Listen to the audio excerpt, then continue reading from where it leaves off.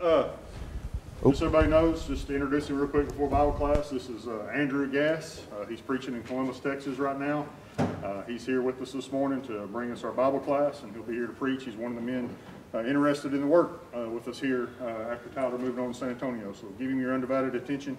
We appreciate him and Rachel and his family being here with us this morning.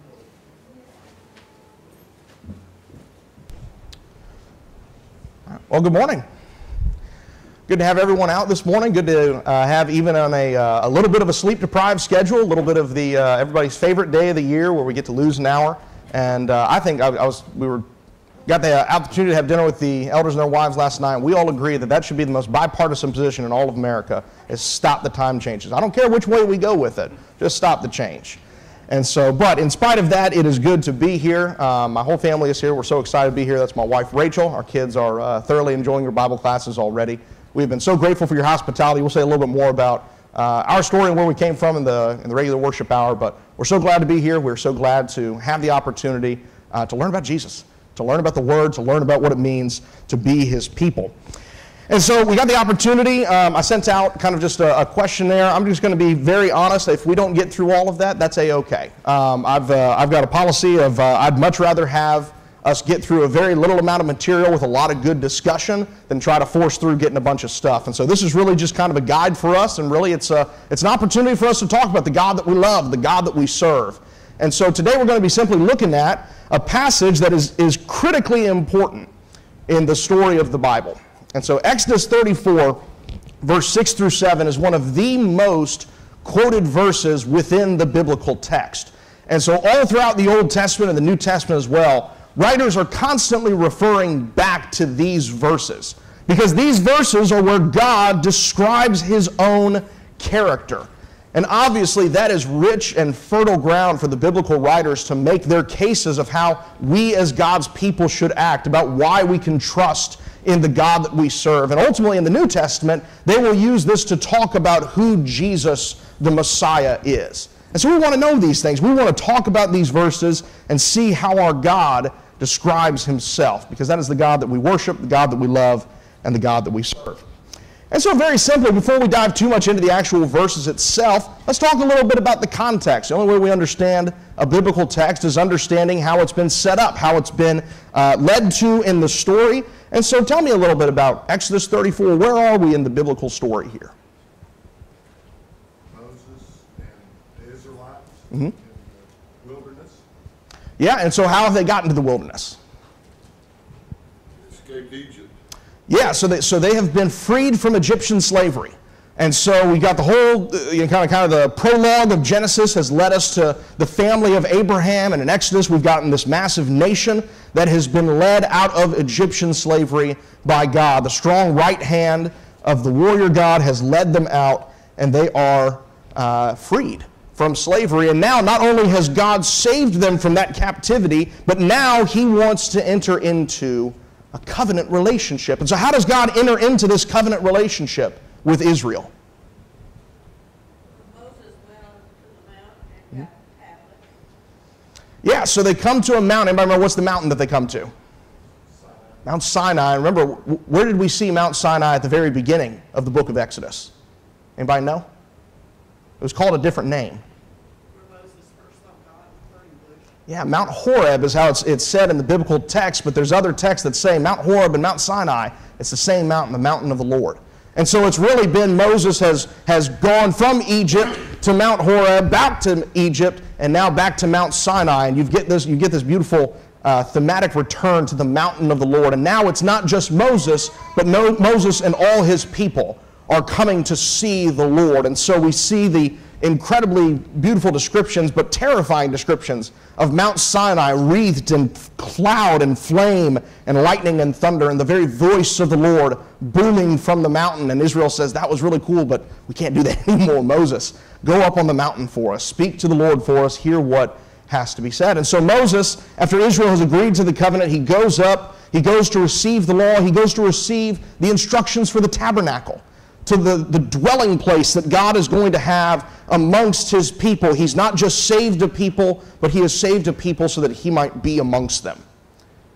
But as Moses is learning about this incredible plan, as he's learning about the beautiful tabernacle that Israel is going to construct, what is Israel doing in chapter 32?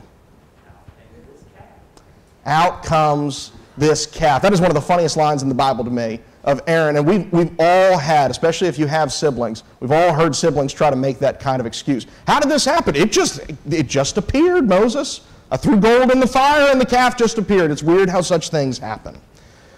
But as God is on the mountain speaking to Moses, saying incredible loving words about the relationship he wants with Israel, Israel's down at the foot of the mountain. They're like, We haven't seen Moses in a long time.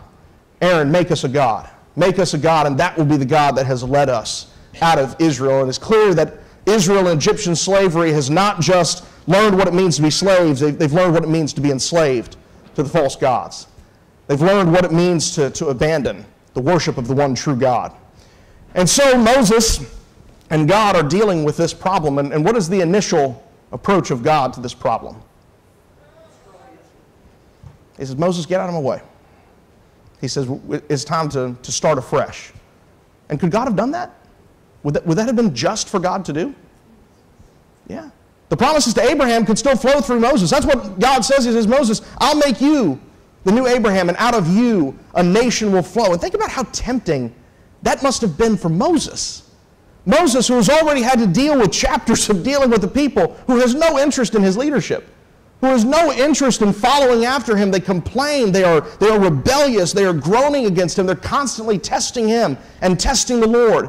And God says, Moses, if you, if you say so, we'll get rid of all those problems for you. We'll get rid of all those inconveniences for you. But how does Moses respond? He, he pleads with God. He intercedes with God. And, what, and let's go to this because I think this is such an important text in, in Exodus 32. Because this, this whole conversation, and the reason I'm spending so much time here is that the conversation between God and Moses in Exodus 34 is a continuation of this conversation between God and Moses in Exodus 32. God is going to explain in Exodus 34 why he has done what he did in Exodus 32. And so in Exodus 32, and verse 11, after God has, has told Moses, Get out of the way, I'm going to destroy Israel. He says verse 10, Let me alone, that my anger may burn against them, that I may destroy them, and I will make of you a great nation. Then Moses entreated, he interceded to the Lord on behalf of Israel and said, Lord, why does your anger burn against your people, whom you have brought out from the land of Egypt with great power and with a mighty hand? Why should the Egyptians speak? saying, With evil intent, he brought them out to kill them in the mountains, to destroy them from the face of the earth. Turn from your burning anger and change your mind about doing harm to your people. Remember Abraham, Isaac, and Israel, Jacob, your servants to whom you swore by yourself and said to them, I will multiply your descendants as the stars of the heaven, and all this land of which I have spoken I will give to your descendants, and they shall inherit it forever. So the Lord changed his mind about the harm which he said he would do to his people. What, what is what is the argument Moses makes on behalf of Israel?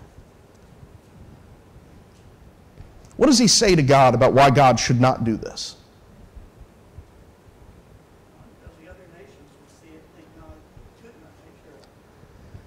He doesn't say because Israel deserves mercy. He doesn't make an argument. In fact, he, he barely mentions Israel as a people. He's concerned about the glory of God. He's concerned about the witness that this would give to the other nations. He says, God, Egypt would think they had won. They would think you were not powerful enough to deliver them to the land that you had promised them. And in that capacity, they would, they would blaspheme your name. That's what David is told when the prophet comes to him and Nathan says, Do you know what you've done? You have given cause in sinning with Bathsheba and killing Uriah the Hittite. You've given cause for the nations to blaspheme against God. It's not just that you did something wrong, but it's that you've besmirched the name of the living God. And that carries weight to it. And Moses said, I, I, Lord, I want you to be honored. I want you to be upheld as the God that you really are.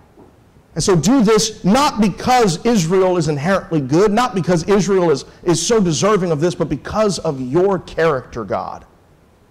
I make this appeal. And so it is that character then that in Exodus 34 that God is going to talk to Moses about. And I think in large part we can read this section of 32 through 34 as, as God revealing himself to Moses.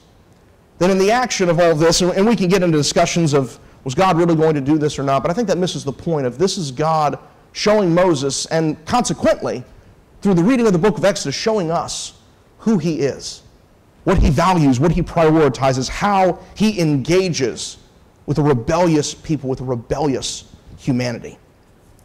And so in Exodus 34, after he has given the, the replacement tablets that Moses had broken, we come to then Exodus 34 and verse 6 through 7. We're going to read this real briefly, and then we're going to start talking about the content here. Exodus 34, and, and we'll actually say in verse 5. It says, The Lord descended in the cloud and stood there with him as he called upon the name of the Lord. We get that, that conversational language, that relational language, that the Lord is standing there with him. It's, it's, it's a literary language, there's no person standing there. But God is with Moses, he is, he is present with Moses. And he says, Then the Lord passed by in front of him and proclaimed, The Lord, the Lord God, compassionate and gracious, slow to anger, and abounding in loving kindness and truth, who keeps loving kindness for thousands, who forgives iniquity, transgression, and sin. Yet he will by no means leave the guilty unpunished, visiting the iniquity of fathers on the children, on the grandchildren to the third and fourth generation. There's a lot to unpack there. And again, if we don't get through all of it, that's okay. We could spend years talking about this and seeing how this is borne out in the biblical story. But let's start that I think in an interesting note here. There's, there's, a, there's a name being pronounced twice here. Now, in our English translations, it, it says the Lord, the Lord. And do you notice something maybe different about that word Lord in your Bible? Yeah, so it's, it's in small capital letters, and so it's, it's, it's specifically designed to make you think there's something different about this word. Anybody happen to know what's going on with that? What is, what is the Lord here? What is that word? Yeah, so it's, it, it, yeah, it's the divine name. And so earlier in, in Exodus 3, when God is revealing himself to Moses, go ahead and turn back there actually. We'll, we'll look to this and, and see the source here, keeping your tab on Exodus 34. In Exodus 3, and again, same mountain, same God, same Moses. We see the connections here. In Exodus 3, when Moses has been commissioned to go to Pharaoh and tell him to free my people, and that I will lead them back to this mountain to enter into a covenant relationship with me. Moses' first response is in, in verse 13. He says, Behold, I'm going to the sons of Israel, and I will say to them, The God of your fathers has sent me to you. Now they may say to me, What is his name? What, what shall I say to them? God, God who, who's sending me? I, I think this is not just a question of Moses posing a hypothetical. I think Moses is asking a little bit here God, who are you? He, I think he knows God, he recognizes God. But he's asking a deeper question. He's asking more than just, he's asking God, who are you? What does it mean to serve you? What does it mean to know you? And it says in verse 14 that God said to Moses, I am who I am. And he said, Thus you shall say to the sons of Israel, I am has sent me to you. God furthermore said to Moses, Thus you shall say to the sons of Israel, The Lord, the God of your fathers, the God of Abraham, the God of Isaac, and the God of Jacob, has sent me to you. This is my name forever and this is my memorial name to all generations. The Lord says, This is how you know me. I am who I am. What, what is God saying? And there's, again, we could spend a long time on this. What is God saying about himself when he proclaims this name? I'm eternal. What else? Yeah, always exists. So omnipresent is kind of the, the fancy word that we use for that. Eternal, omnipresent. What else? Holy. holy. Big word in the Pentateuch, big word in these first five books. I am holy. I am distinct. I am separate, and yet I am all in all. I am holy. What else?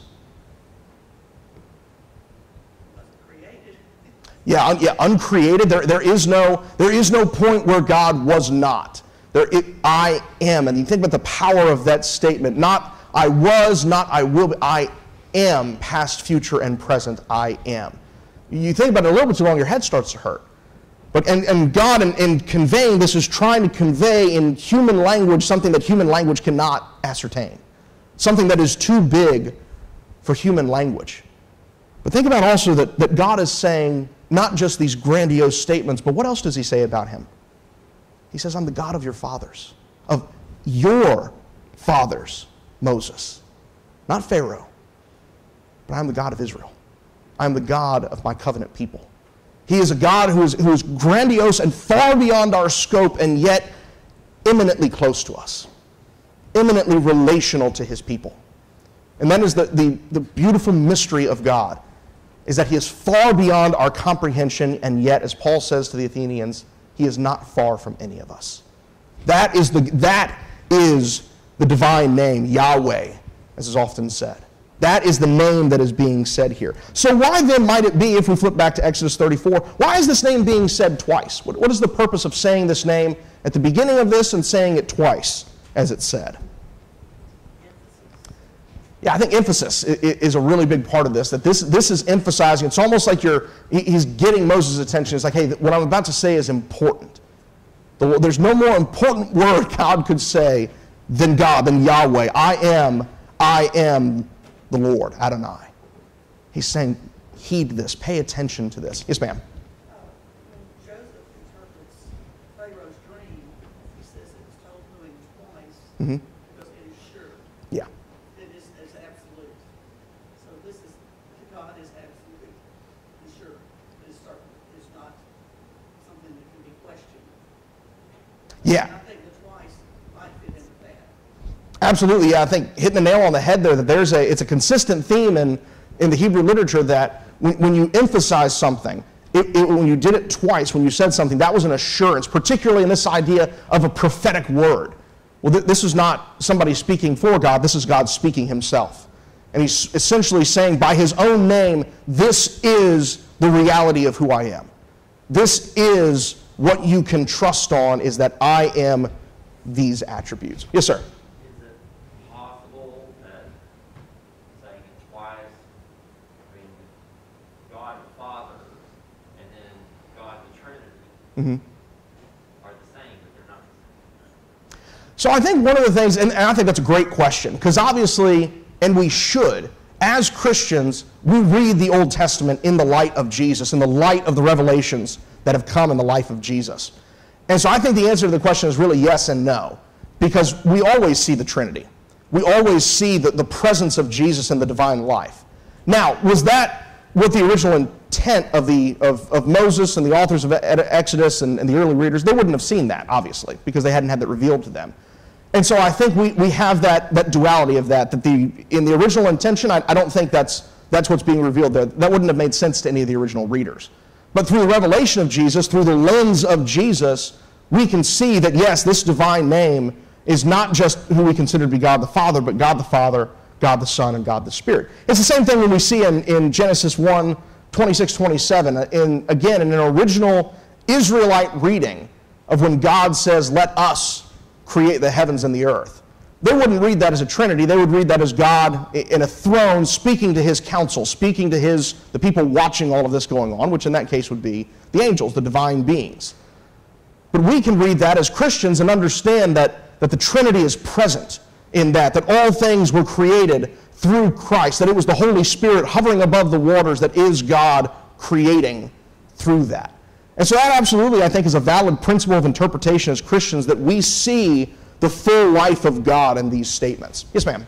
Uh, in John eight, verse Mhm. fifty-eight, Christ says, before Abraham was, I am. And then in Revelations, he said, uh, I am the Alpha and the Omega, the first and the last, the beginning and the end. So he was the great I am all. Uh, He claimed it's Godhood as the great I am. Yeah, absolutely. And John is doing that very intentionally in his gospel that, that, they, that there is very clear Yahweh phrases, there's very clear Old Testament titles that are applied in the Old Testament exclusively to God. And yet Jesus is coming on and saying, no, no I, that's, that's who I am. Which again is, is, is, the, is the mystery of Jesus Christ that a man can say, I am who I am. And that's the, the incredible thing. And that was the, the change that resulted in the person of Jesus, that suddenly the entire cosmos, the entire world, has changed because of the revelation of who Jesus has always been. Yes, sir. Andrew, the, uh, you alluded to it, but I just want to pull it out a little further. The, uh, the independence of God, he's standing on his own. You know, so many times he's been quoted in, in the name of God or, or uh, prophesied, speaking for him. He's now speaking for himself. You Yeah. Know? And you kind of alluded to that, but just kind of want to highlight that, the fact that here, I am speaking for me. This is my words. This is not from some, not a prophetic or a, coming from somebody else. This is me independently.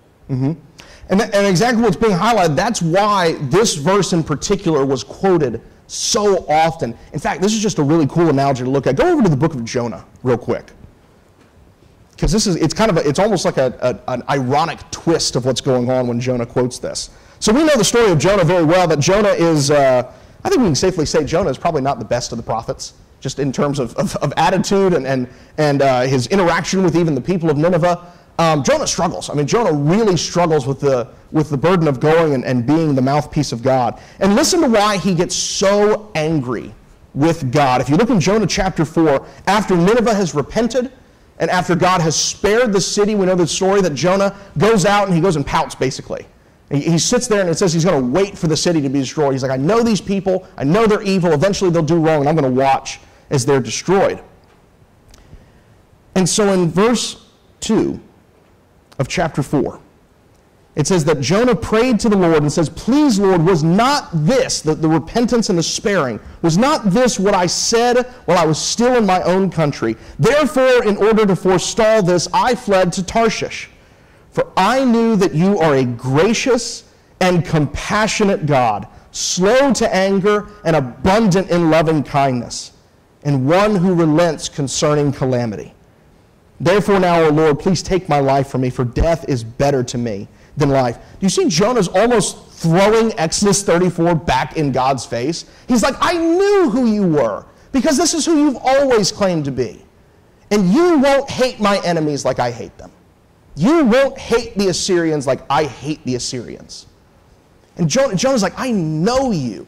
I know that you're slow to anger and gracious and compassionate. And it's, and it's, it's because even, even a flawed failure of a prophet like Jonah knows one thing he knows the character of God.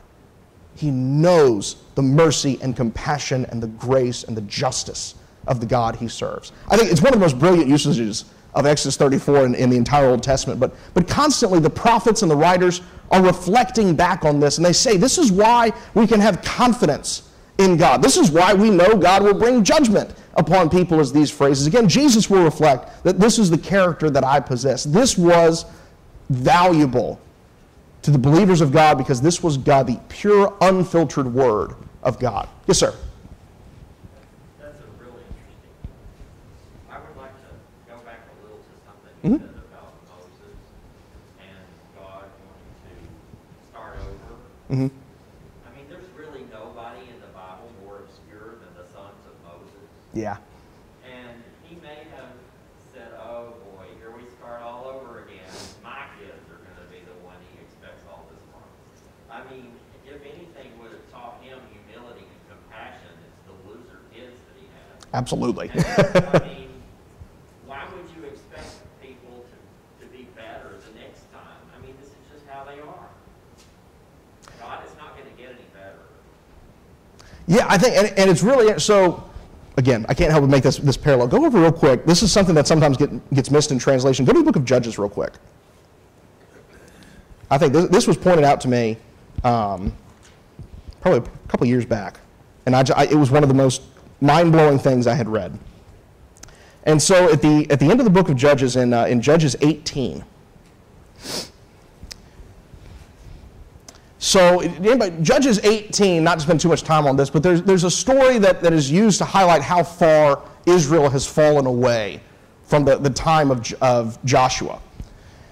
And the story of Dan is, is the story of idolatry, the story of betrayal, of violence. It's a, it's a horrible story that the only worst story is the one that comes right after it with the, the concubine of the Levite. But in verse 30, there's, there's this, this false priest that goes throughout the story of, of, uh, chapter 18. And it's a guy named Jonathan. And it says in verse 30 that the sons of Dan set up for themselves the graven image, this idol. And Jonathan, the son of Gershom, the son of Manasseh, he and his sons were priests to the tribes of the Danites until the day of the captivity of the land. Now it says Jonathan, the son of Gershom, the son of Manasseh. Does anybody have a little footnote on the name Manasseh there? What does it say? Some ancient versions read Moses. Yeah, so there's, there's, some, there's some textual variants, and they're the oldest ones the Septuagint, the Vulgate, that read that as Moses. Well, we know Moses' son's name was Gershom. And, I th- and there's, a, there's a principle in textual interpretation that the more difficult interpretation is most oftentimes the correct one. Because nobody would be like, oh, you know what would make the story really good is if we showed that Moses' family failed. But you could very easily see somebody being like, ah, that's going to be really awkward if we say that's Moses. Let's, let's, let's say it's Manasseh. We'll just kind of make it vague. I think, the, I think the Moses translation is correct here. And so, exactly what's being said, Moses' grandson is an idolatrous priest. He's, a, he's, he's literally a false priest of a graven image. I think what the point that's being made is exactly right. It, it wouldn't have been a better nation if it was Moses. Not that Moses was not an incredible, faithful leader of Israel. But the problem of, of Israel is the problem of humanity. And that's ultimately what Israel demonstrates for us, and it's, it's why Israel's story is told to us, is that it is our story. It is the story of a failed and broken humanity that is in desperate need of salvation. Just as Israel needed salvation from the slavery of Egypt and the slavery of idolatry that plagued them for generations, we have need of freedom of slavery and freedom from the idolatry that has harmed us for generations. And so it was not about getting the, the perfect people. You were never going to make a perfect people. It was about God becoming a part of that people, about God redeeming humanity by taking humanity upon himself. That is the grand story of the Bible. Is not a perfect people being made, but of an imperfect people being perfected through the truly human Jesus. And it is, it's why I, lo- I love studying the Old Testament. Because it, to me, all of the New Testament is commentary upon the Old Testament story that is completed in the person of Jesus. And so all of this, and that's why, we, as I said earlier, you can see all of this in the light of Jesus. All of this is clarified and made sense by the person of Jesus. It is just incredible to see all of that. I'm rambling a little bit. Other thoughts and comments on, on this question? You can now see why I said we probably were not going to get through the whole sheet.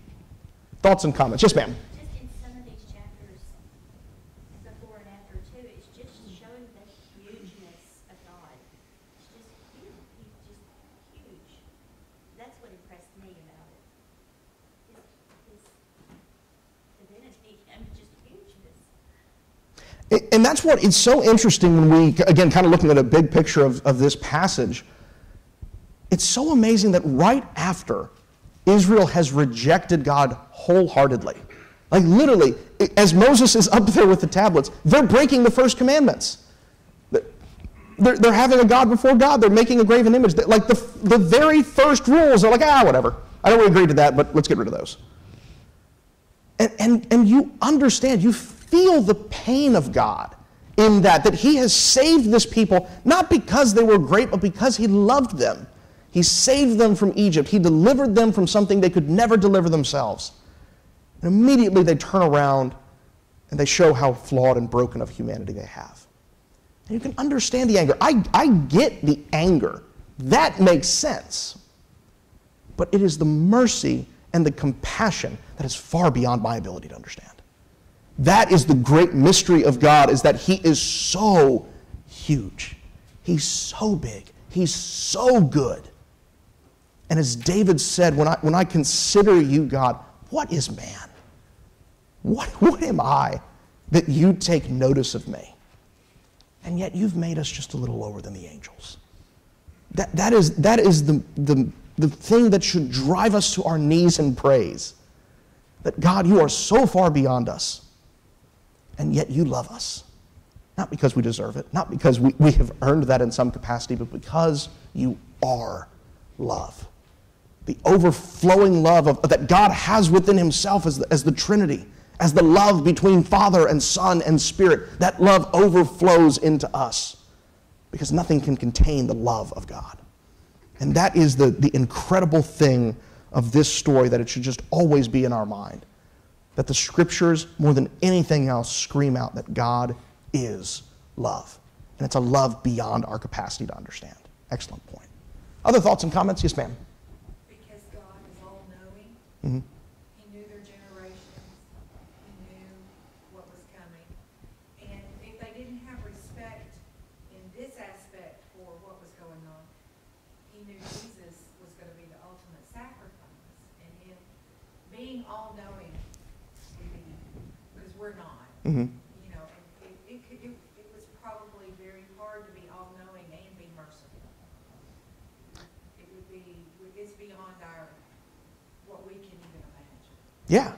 And, uh, you know, to, to know that God, that, that Jesus was gonna be the ultimate sacrifice, and them have no respect for God at this point, that, it just shows his mercy. And, that's the thing that, I, that is so incredible when you, again, when you consider the, the character of God, the nature of God, as being one transcending time. He, he is not contained by time, he is, he is the source of time. And so when you, when you read these things, again, we, just because that's how our minds work, that's how humanity works, we see everything in a very literary, um, chronological sequence of this. And so we see everything getting worse and worse and worse and worse, and then, and then Jesus. But God, at, at the same time that He is seeing this people rebelling against Him, He is on the cross. He is saving His people. And when Jesus says, Father, forgive them, they know not what they do, it is not a time bound statement. It is the manifestation of the love of Christ for His people, for the, the people that He loved so much that He took on their weakness, He took on their humanity so that He might redeem it through His perfect love, that He might free us from the death that we had been enslaved to. Father, forgive them. They don't know what they're doing. They're, they're children, God. They're in, I, I firmly believe there's a, I was reading an, an ancient theologian who talked about that, that, that Adam and Eve in the garden appear to be fully formed, but they also are very childlike. And I, and I think that is in, in such a way, it's part of the reason I think that God is so often called Father, is because he sees us as children. My children, you will see when they come stampeding out that door, are, just, are beautiful and wonderful, and they destroy everything they touch. They're just, it's, in, it's who they are. It's not because they're, it's not, it's not because they're just horrible, demented little demonic children. It's because they're children. They don't know better. My, literally, the minute, I don't know if you saw it, but the minute we walked in the door, my, my two-year-old Ophelia walked in and grabbed one of those blue things, and just went rip, and just took it off. Like, just, it was there. Just flip, it was going to be taken off. I, I firmly believe that's how God sees us, is these goofy little kids that just don't know better. That are, we are just so helpless on our own. And yet, even in the midst of us messing stuff up, even in the midst of us just corrupting everything we touch, God loves us intensely. Father, forgive them. They don't know what they do. That is, and, and if, you were to, if you were to sum the character up that is seen in Exodus 34, 6 through 7, you were to sum up the character of God as seen in the person of Jesus, it is a love for a broken, childlike people who have to be saved from themselves and have to be saved from the dark powers that have enslaved us, the evil ones that have put us in to the bondage of sin and death. And that is the love of God made manifest, that He has freed all of us from Egypt, from Babylon, from the corruption that we were enslaved to. Other thoughts and comments? Yes, sir. I was, uh, one thing that jumped out at me is, is the growth of Moses in the story. You know, he starts off on the same mountain, and he doesn't even want to go face Pharaoh, and now here he is facing God, and, and while God is very angry and, and pleading with God and making really good points, uh, you know, about why to save Israel and things like that, and just impressive, uh, the growth of, of Moses and his leadership there. Yeah, absolutely. Great point. And I think that is a huge part. I think I mentioned this, somebody, somebody was talking to me about this last night, that I think you can, you can look at the story of Exodus, Leviticus, Numbers, and Deuteronomy very much in the sense of the story of Moses. It's the story of Israel, it's very much the story of God. But there's a story of Moses becoming a leader, becoming an intercessor, which is a character, a type of who Jesus was going to be to a far greater extent. But it is, I think it's absolutely correct that Moses, the last time he was on this mountain and standing before God, he's like, I don't even want, to, I, Lord, they're not going to listen to me. I don't want any part of this. Go send somebody else. Send somebody who's better than I am. I, I'm not going to be able to do this. And now, through the Spirit, through the power of God, he has gained the courage and gained the love of God for this people. He has been transformed by coming in the presence of the Lord. And in that way, he is typological for us that we who have been on Mount Sinai with the Spirit of God, but now within us, now as the temples, now as the full image of what the tabernacle was, Emmanuel, God with us, we are transformed by that encounter. We are emboldened like Moses. We are given love like Moses for our people. That is the transformative power of God. And you absolutely see that change in Moses, that he has, again, not because Moses has particularly done a lot. It's not like Moses has changed much. It's that God has transformed Moses through his leadership and through his presence and through the love that God has shown Moses when Moses was not exactly doing what he was supposed to be doing. God had mercy upon him, and that mercy has transformed Moses into a person of compassion and mercy. Excellent point. Yes, ma'am. to kind of get the whole picture, certainly God is, is love, and that, that's the, maybe the greatest takeaway, but God is also just. Mm-hmm. And in uh, Exodus nineteen, verse five and six, it says, Now then, if you will indeed obey my voice and keep my covenant, then you shall be my own possession among all the people, for the earth is mine. And you shall be to me a kingdom of priests and a holy nation. These are the words that you shall speak to the sons of Israel. So this is what God is giving them. Mm-hmm. And then in chapter twenty-four, they accept it. And they say in verse seven, that then he took the book of the covenant and read it in the hearing of the people. And they said, all that the Lord has spoken we will do, and we will be obedient. Mm-hmm. And within forty days, they were worshiping that golden calf. God also says in, in Exodus thirty-four, at the end, says, and I will not overlook you. Uh, So, uh, he's a totally loving God, he's a totally merciful, but he's also totally just. And he does not overlook iniquity unless it is repented on. And he, and out of his love, Yeah, a- absolutely. And, and, and like I said, uh, obviously we haven't gotten to get a ton into the, the individual attributes of this, but, but all of these things, again, they are part of one unchanging God. And the analogy that I heard that I thought was so potent and, and, and helped so much of this idea is that God and his, his holiness and his love is very much like the sun in a way. That the sun radiates heat and light, and from the appropriate place, that heat and light is life sustaining.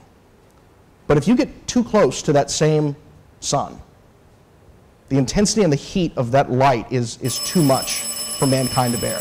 It is the same thing ultimately with, God, with God's love. That God's love, God's holiness, when we are in the proper place, and ultimately through Jesus, we are able to draw closer and closer to that. But that same love, when it is rejected, when life is rejected in the form of God, there is no other source of life. There is no other source of that. And so when you reject the love of God, when you reject the covenant relationship, that same love is a purging fire. And so, absolutely. Guys, thank you so much for this. Excellent class. Yes, ma'am. Great, wonderful. I'm so excited we have five more minutes. That's good because I was really thinking, I was like, oh man, I got more time. Wonderful. I'm still really glad we're having the class. But yeah, so I think that's such an important point that, that, that God's compassion and mercy and love, it does not diminish his justice. And again, that's a good thing because God's justice was what overthrew Egypt. God's love for his people is what caused him to cast down Pharaoh and his army in the Red Sea. It's what led God to de- rebuke and destroy the power of the Egyptian gods and the plagues. It is that same love that manifests itself in such mercy and grace and compassion that also manifests itself in the destruction of the evil powers. You, you can't, it's not separable.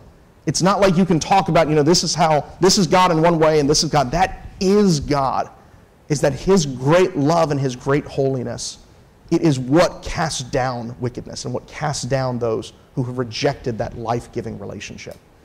And it is, and again, it is, it is not something I think we, we shy away from. It's not something that we try to, try to blunt the reality of. It is all part of that one cohesive picture of God. Other thoughts and comments?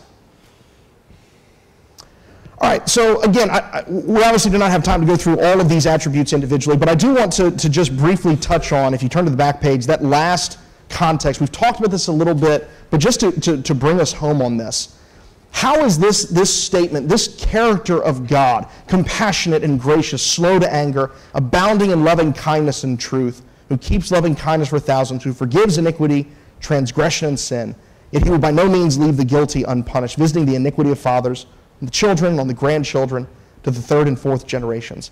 How do we see Jesus in this statement? How in Jesus do we see this statement personified? Yes, sir. Well, being a person, being human, gives you a different Mhm. than just creating them and watching them mess up. I mean, even though he didn't mess up, he loved people who did.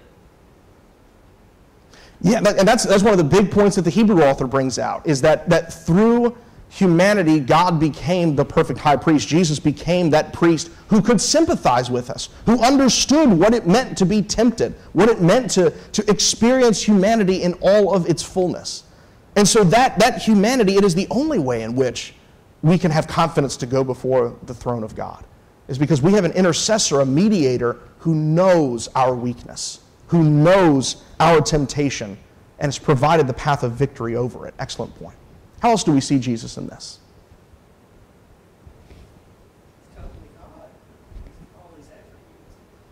Yeah, so we- we have to be able to accept and reconcile and, and ponder and dwell on and meditate on that this, this God who is interacting with Moses is Jesus. And think just for a moment of another mountain in the New Testament where Moses is before the very living image of God. And he and Elijah are before Jesus in his transfigured state. How cool must that have been for Moses to see, oh, oh, this is where this was leading. This is where Sinai was leading. This is where my encounter with God was leading. You, you are the fulfillment of all that I struggled with. I can't imagine what Moses' heart must have, felt like on that mountain. But it shows that Jesus has been a part of this from the very beginning, from before the very beginning. Just briefly, what does this say about the cross? What does it say about the empty tomb? What does it say about the ascension of our Lord to the throne?